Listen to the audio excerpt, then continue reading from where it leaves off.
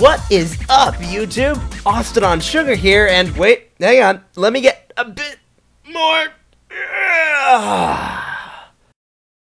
There we go, much better.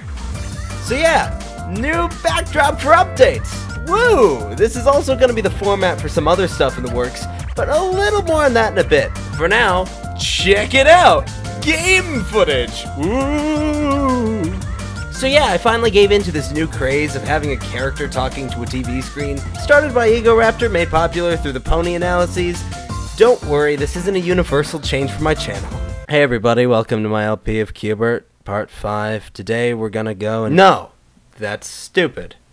But this format is pretty great for something I've got in the back room right now.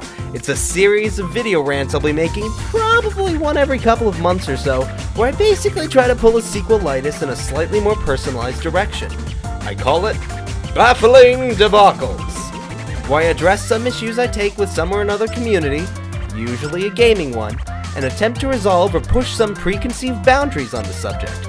Pretentious talk aside, I'm trying to make videos where I aim to say, You're all wrong! in a somewhat less offensive way. First one's gonna be on Sonic Adventure and its level design, and it'll be the first thing I work on once the Versus is over. For those wondering, no, this is not the super secret, sexy, spectacular series I keep alluding to, but it is something I've been wanting to make on this channel for a very long time. Once it's done, though,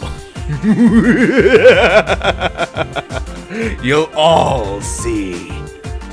Sonic Adventure Versus 2 concludes at part 8 for the curious, so do the math yourself for when to expect this baffling debacles project or the over the top next super secret project I'll never shut up about. It's sure to be a spectacle. Huh? Huh? In other news, we're nearing the end of my current excursions in the A button challenge runs. Just one more SA2 vid to go up later this week and we're done. For now. These videos are really fun to put together, and I'd love to do more work in the field. But where I'd like to go with it is a bit more of a handful than I'm ready for at the moment. And to top it off, I'm bored of making them right now. I want to move on to other projects that don't require so much repetition, shall we say. Three hours, three hours, three whole hours. Good God, it took me three freaking hours. So, one more A button challenge, and only a couple more versus vids left. April is really gonna be a month for moving forward as far as my channel is concerned. I've got a lot I want to do in the coming months, and I hope you guys enjoy what I have in store. By the way, I hit 100 subs a few weeks ago, and it totally slipped my mind I was supposed to do something special for that. So, uh, thanks. Entertaining you guys is what keeps me going on here, so it's great to know mission accomplished. And with that, I think I've finally run out of stuff to talk about.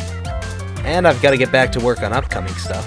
So with that, I must bid you all well for now. See you next time. This is Austin on Sugar, signing out. Cue outro music.